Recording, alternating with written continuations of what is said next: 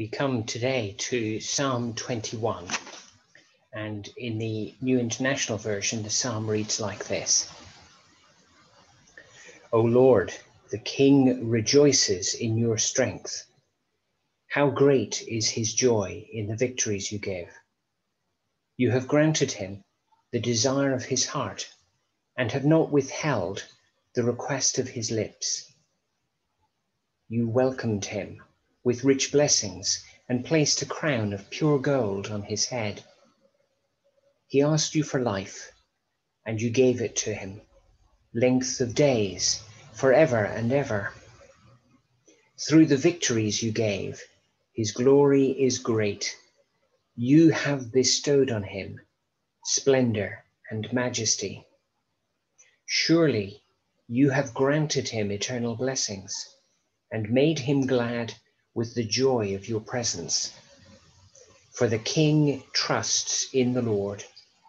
Through the unfailing love of the Most High, he will not be shaken. Your hand will lay hold on all your enemies. Your right hand will seize your foes.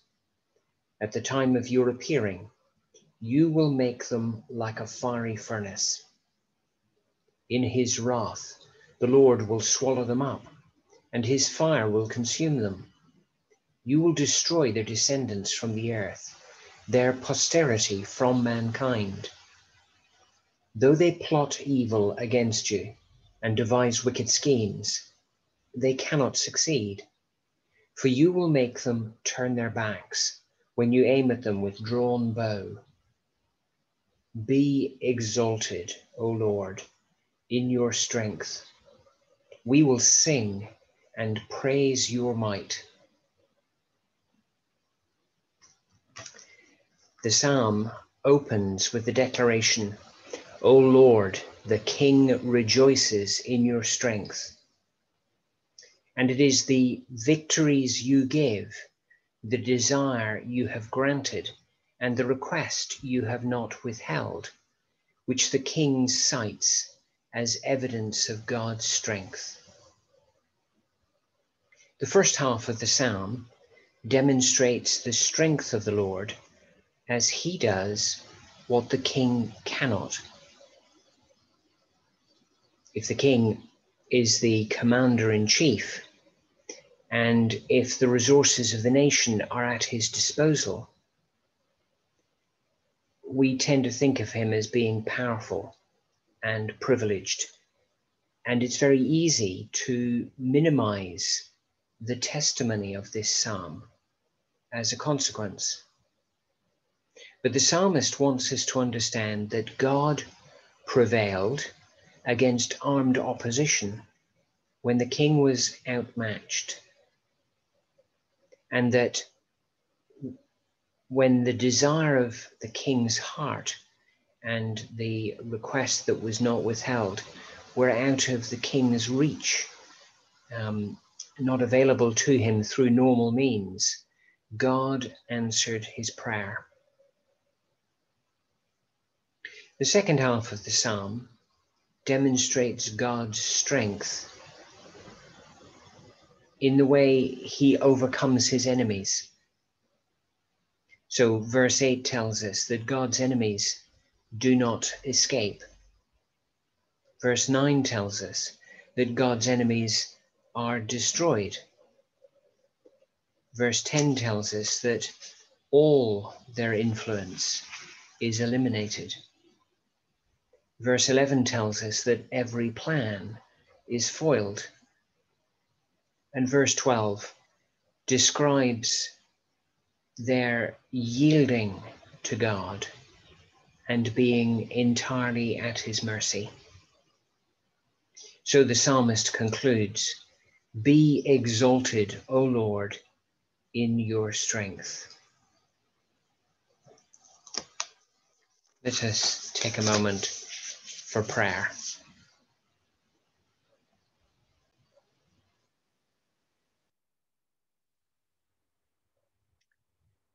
We thank you, Lord, that you welcomed David as king.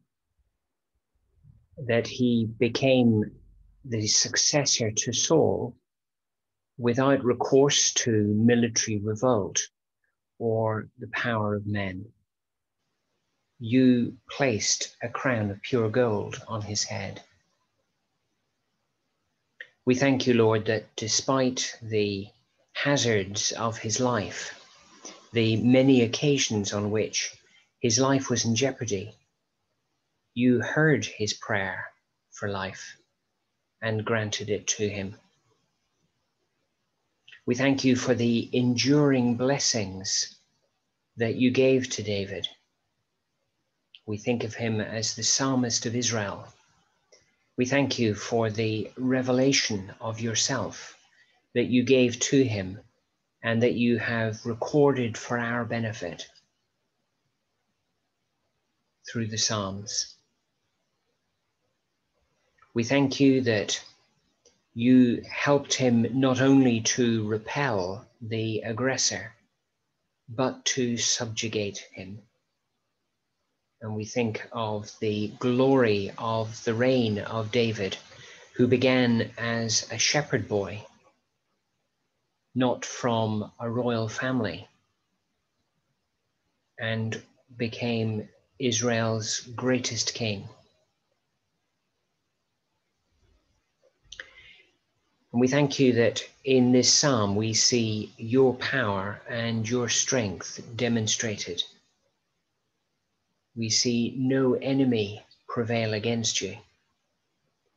And we see no situation out of your reach or beyond your power.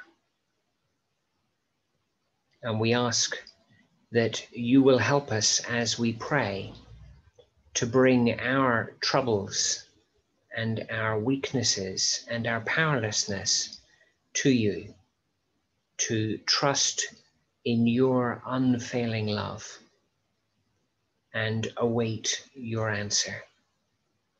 Amen.